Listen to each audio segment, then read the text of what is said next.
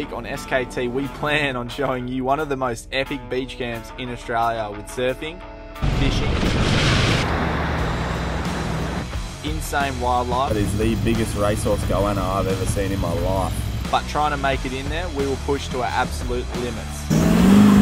Oh yeah, baby. Get up there. And make matters worse, there's a massive cyclone honing in on us. Nearly died. Damn it. Have we finally bitten off more than we can chew? G'day guys, welcome back. Uh, we're on another beach camp mission and we are heading into one of our favourites on the WA coast. Yeah, we're going into Stevens Camp, but we have got a little bit of a kerfuffle because, A shamozzle. yeah, there is a cyclone coming, another cyclone. Someone tell the flies there's a cyclone coming. Super humid, there's meat ants. You don't want to get bitten by one of these things. See these things here? WA meat ant. They'll have you singing louder than Susan Boyle. but uh, we've got the Keith Urban and the Master Leroy here and we're going to hit this track now. Say Master Sarah then. Yeah, Master Sarah. Master Navigator. And there's a key point we're missing out on too. It's my birthday. Oh yeah, So- 28 for that. Yeah, Yeah, 28. 28. Shit, bit of an old rooster. But uh, let's jump on this track. Hopefully it's not too corrugated and show you guys one of the most epic spots in Australia.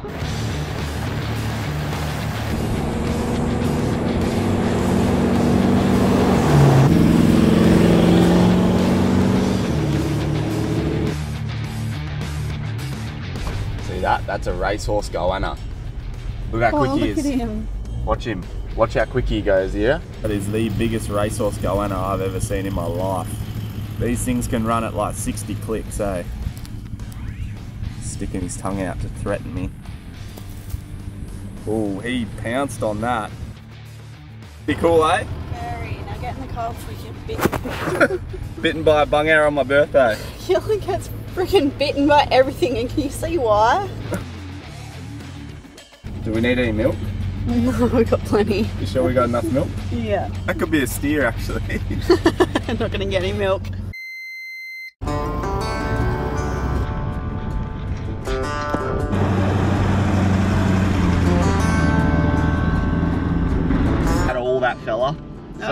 Waiting for it to like leave one kill. so when they stick their tongue out like that, it's like a snake. They're threatened, and then you see and it was I lobbed, its head as well. I lobbed a little rock near him just to see if we could get him to run off, just to show you how quick they are.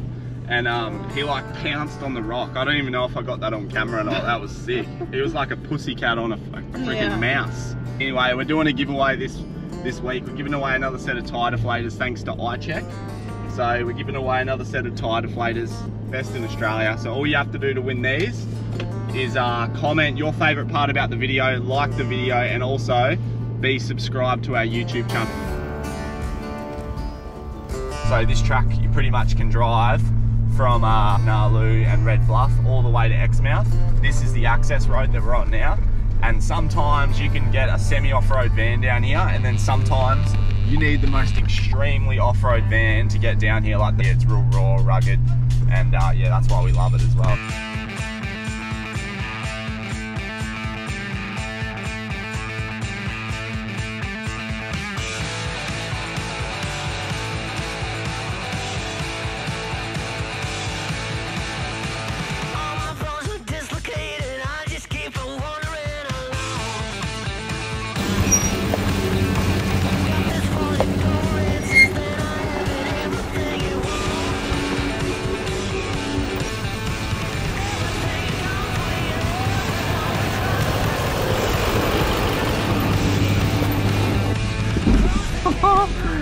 Sick does that look, eh?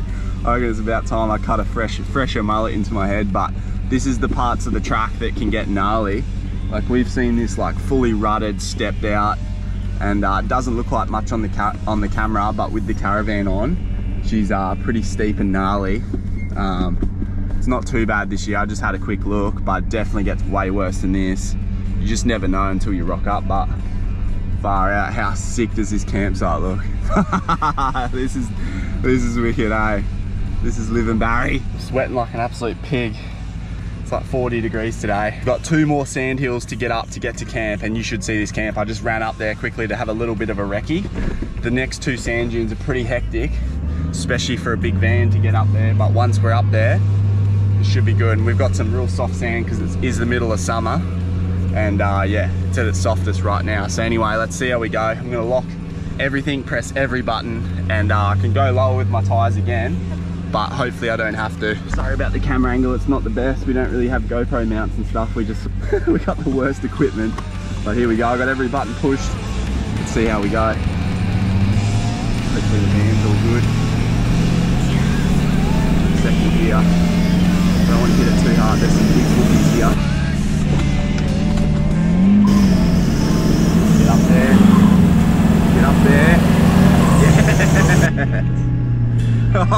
Oh, first entry done.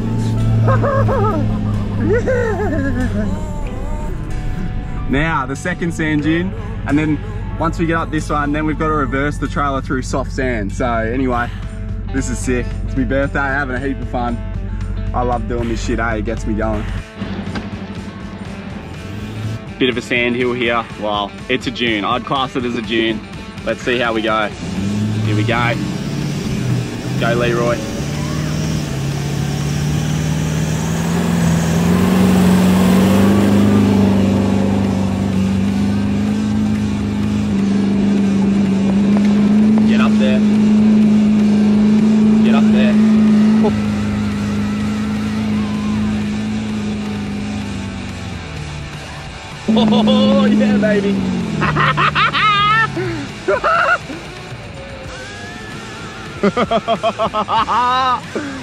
oh, smells like diesel. I was feeding it then. How good's this?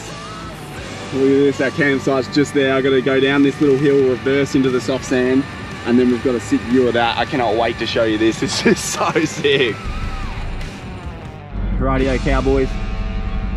I'm about to hopefully not get bogged.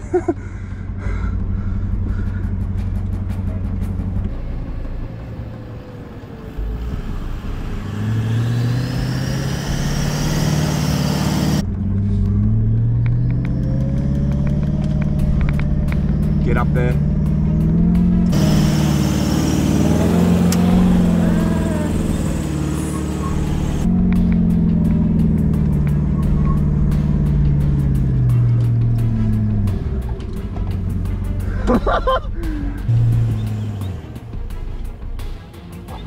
That close.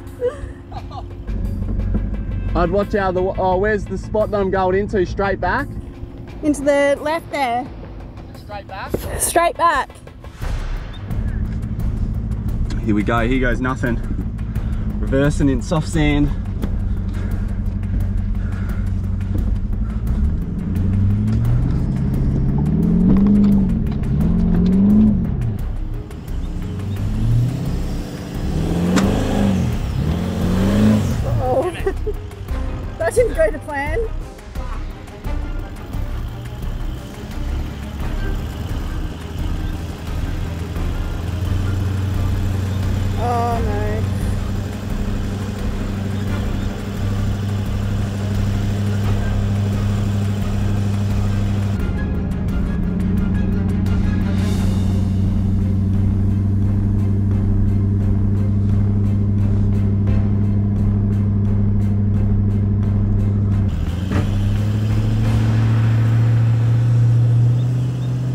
Right, here goes round two.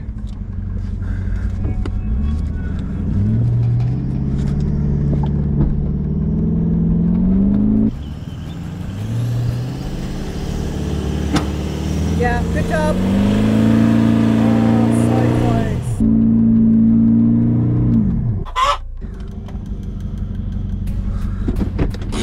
Oh, I'm gonna let the tyres down. Dang it. I've already got the tyres down, but I'll drop them a little bit further. I'm so close. Look, that's the site right there. Almost got over it. Once you get the trailer over the soft stuff, it's so hard to reverse trailers in soft sand. Anyone that's done it will know. But we're so close, we can't fall on the last hurdle. I'll drop these tyres. We're going down to sub 15, 10 maybe, 10 on the van. Because this is soft, look at this. It's just hot black sand.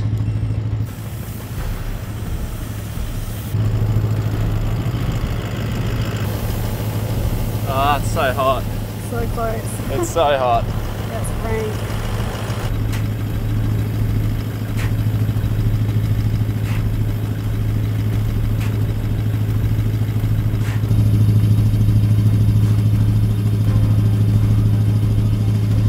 I don't know whether I should go forward and then back or not.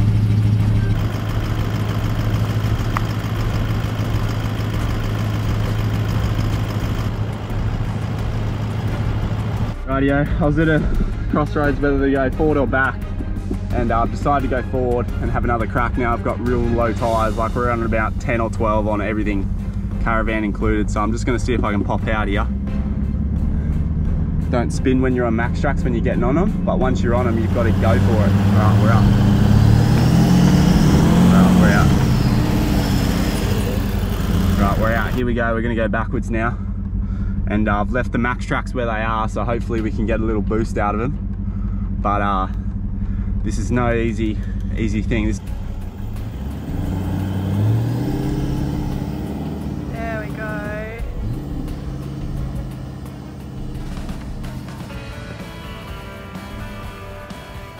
Nailed it. We made it. How sick is that? Now come with me. Come check this campsite out. This is not the coolest Wow. So How nice. sick is that? Happy birthday. oh, it's time for a beer, I think.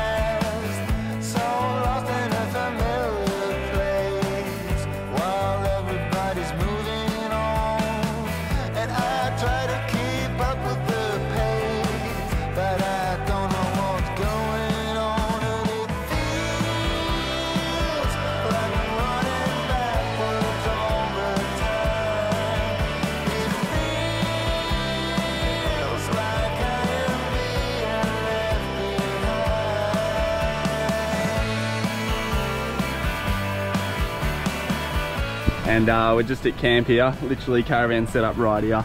And there's a pumping wave literally just there. So Sarah's gonna arm up with the lens from here. Look at that one. That was off its head. I gotta get out. Missing out. No one out. That's the thing. And there's healthy shark population. So it's a bit sketch. Wouldn't recommend doing this um, to everyone. But I uh, acknowledge the risks and I accept them. So I will be going out by myself, but Sarah's watching, and uh, yeah, fingers crossed everything goes all right and I get a couple waves. Shitty, shitty train, I got no sun, there's only rain. I wanna crash and numb this pain. Nothing will last inside this lane. Oh, I made it out the back, check it out. Turns out the back here. So cool to be out here by myself. A little bit offshore, but uh, the waves are just pumping, eh? Like the waves are next level, hopefully I can get a few clips here. Because yeah, oh, there's a turtle right there. This is like the best birthday present ever.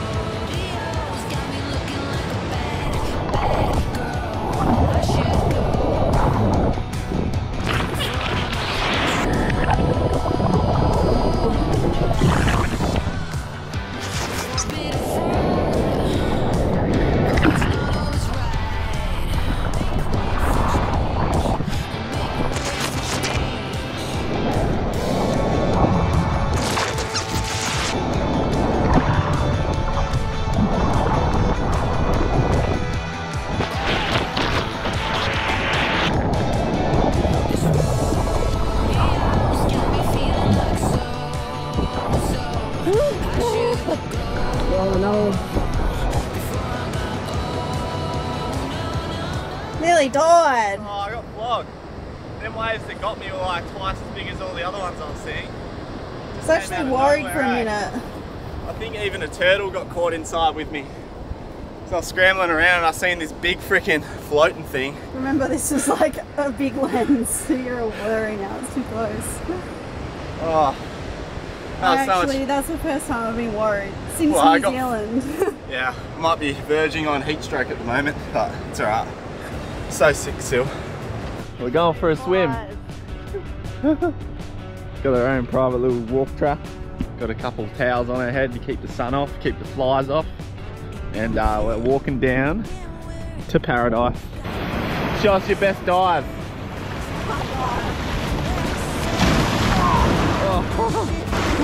This,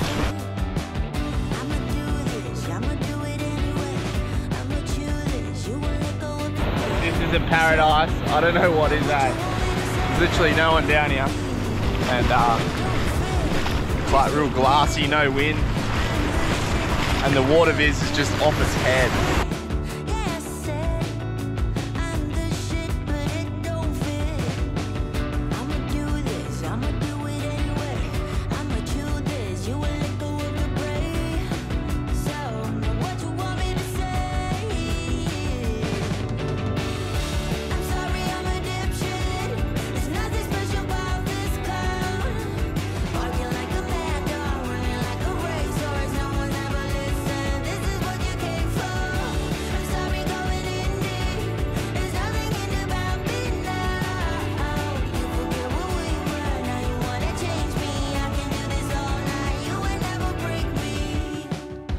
Birthday, so of course we've got fried chicken on the menu. Bit of But we're going to make them into um, Turkish bread rolls, so that should be a little bit healthier. That is just off its head.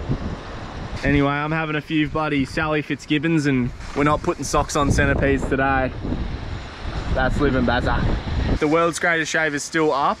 Um, like the donations haven't been finished yet because obviously we're filming this behind time. But if it is, the best birthday present you can give me is donating to that charity um, and helping other people. That's the best thing that you could do for me um, and Sarah. And yeah, it's just amazing. So if you can, please go donate to the world's greatest shave. Every dollar counts, even if it's five buckaroonies. Means the world to us. Means do enjoy our videos. Please hit the red button, subscribe. And uh, yeah, it keeps us going on the road and it supports us. It's free for you guys to do, but it supports us a lot. Someone say KFC. Holy shit, there's like thunderstorms coming in, but it's created like the sickest sunset. I don't know if you guys can pick up on that. That is off its head. so pretty, and there's all um, pink clouds behind us. Look at this. It's turning on, eh? I reckon it's to go soon. It's so sick. We love WA sunsets because it's obviously over the water and stuff. And uh, I'm gonna bang the drone up, show you guys this joint on the sunset. I know we love doing that.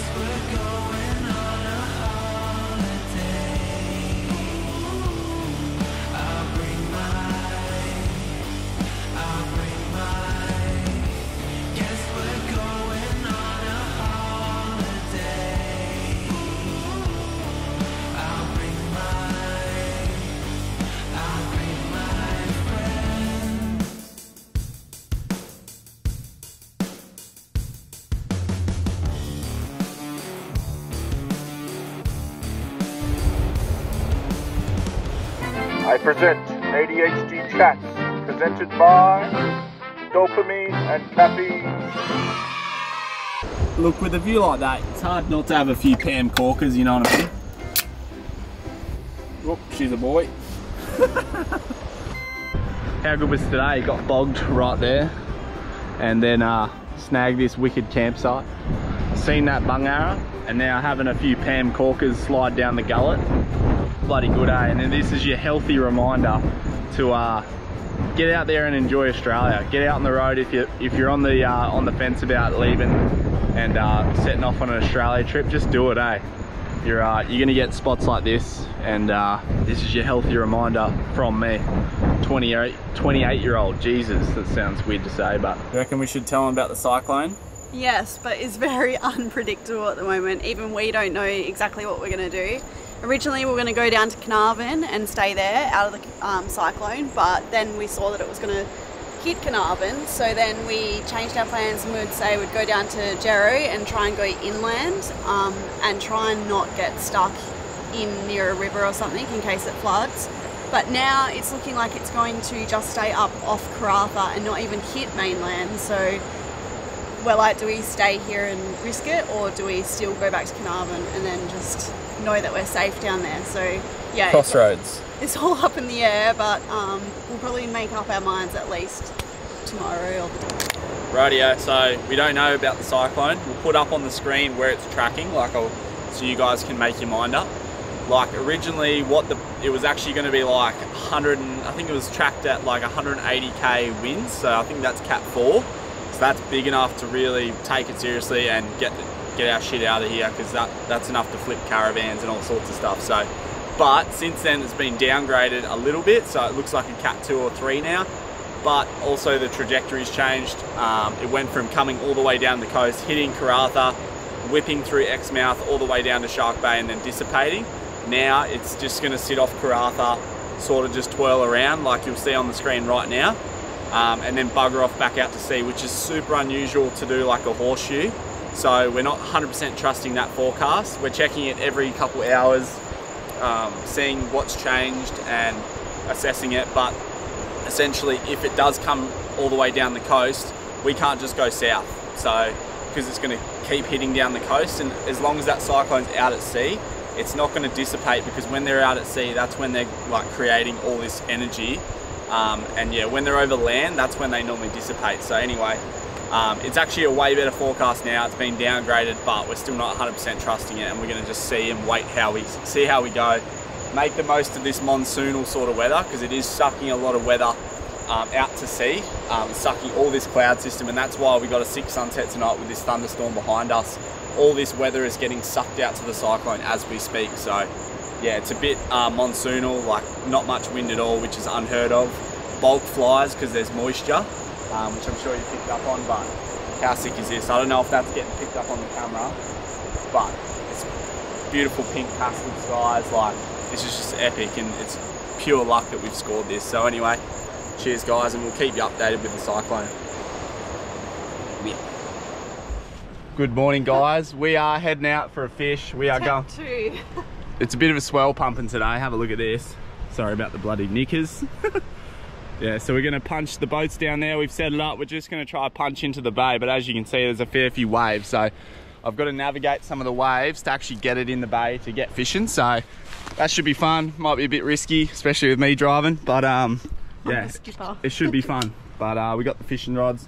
We're packing lighter than we did at Gnaraloo, just trying to get more, bit more space in the boat. If you miss that, we do it. We do have a 2.9 meter boat, and if you don't know about our boat, wait until you see this thing. It's like a death trap. it's, li- So tiny. it's literally a death trap. The thing that's different about its other inflatables is I've seen other people with 2.9 meter boats and they're like fitting their whole family in it, but Yeah. ours has got this little thing that hangs off the back, like little rocket Yeah. bits, It's and like- that takes up like half of the freaking Yeah. 2.9 meters. It does make it more stable, but I think ours is also not full width too. So anyway, we'll go show you anyway. And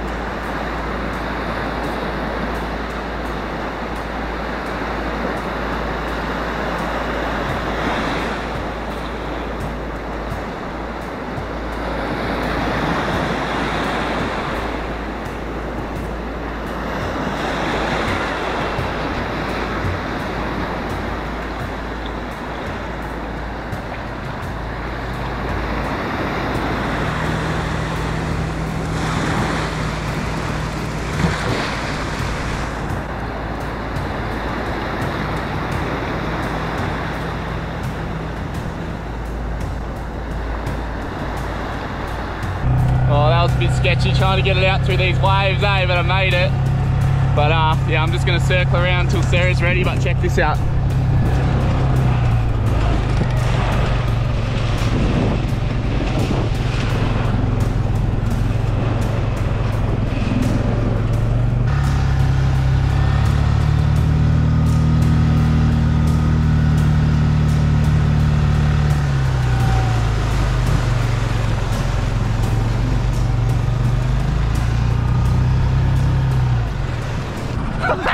Made it. That was so sketchy. I forgot to even hit record on the GoPro. But uh, hopefully Sarah got it. what a weapon.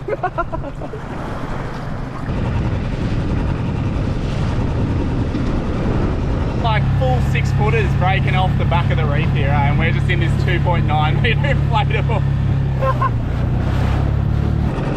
Not ideal rubber ducky conditions. Look at the reef. Definitely a squid. Well, obviously. Alright, what do I do when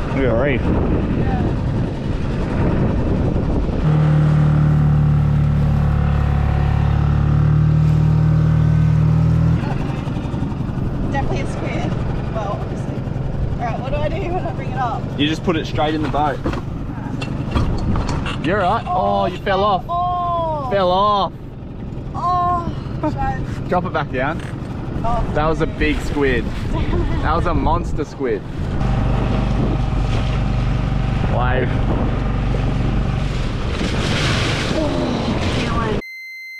Radio. Drop Sarah off because it got a little bit hairy there with that wave coming over the bow. That was pretty funny.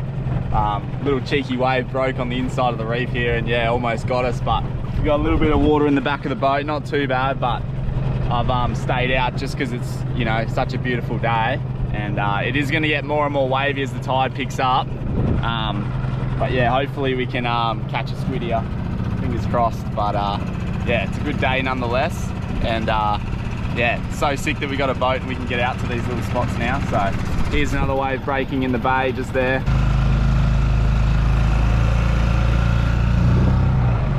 Oh, no way. I just spotted the biggest dugong ever. Just scouting out the back there. There's a couple little little lumps going to come through in a second. But uh, hopefully I can get this squid on the boat. Fingers crossed. Oh no, it's a fish. It's a fish. Oh my god. Oh, there's a wave. Look at that. If you're wondering, the easiest way to support us is hitting that red subscribe button. It's free to do and it keeps us on the road making these videos. And if you did enjoy today's video, we guarantee you you're going to love this next video right here.